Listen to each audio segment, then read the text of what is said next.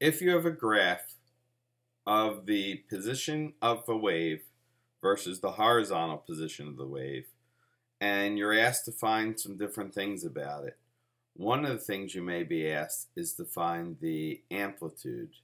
The amplitude is the height of the wave.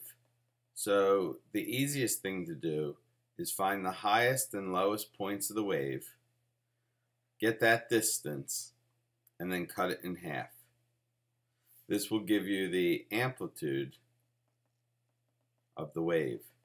The amplitude is measured from the center line. So finding the highest and lowest points and cutting it in half should give you a good value for your amplitude. You may also be asked to find the wavelength of the wave.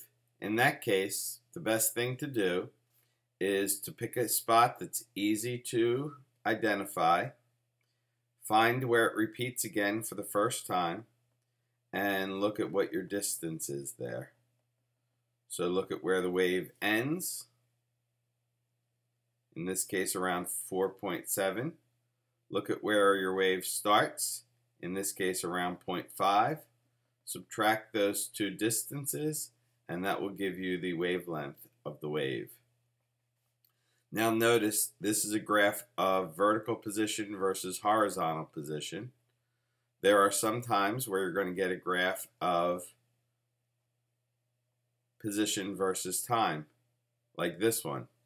So finding the amplitude, you do the same way we did before, but now when you look for what used to be the wavelength, this is now no longer a distance, this is a time. This is the time it takes the wave to occur one time. This will be the period, the time for one complete cycle. If you're asked to find the frequency, realize that 1 over the period will be the frequency. This will be the number of cycles that you get in a one second time interval.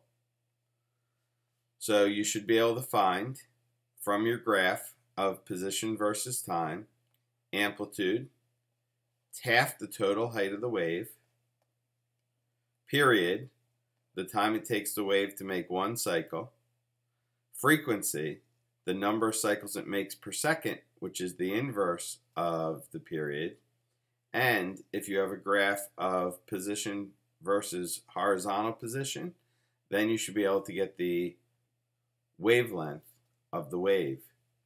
If you're given both graphs, you might need to find the velocity of the wave.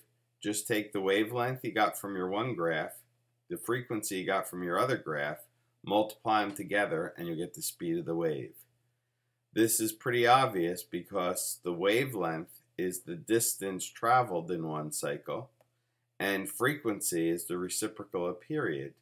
So it would be 1 over the period. That gives us our formula for velocity.